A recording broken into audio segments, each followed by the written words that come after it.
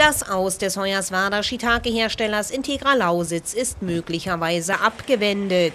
Der Aufsichtsrat der Energieerzeugungsgesellschaft Hoyerswerda hat am Montag einstimmig den Erwerb des Vermögens der zahlungsunfähigen GmbH beschlossen.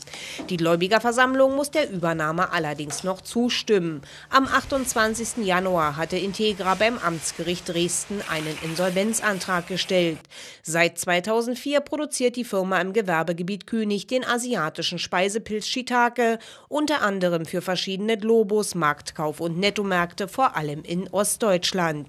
Mit der Übernahme durch die EEG wird die Produktion weitergeführt und alle neuen Beschäftigten übernommen, heißt es in einer Mitteilung des Unternehmens.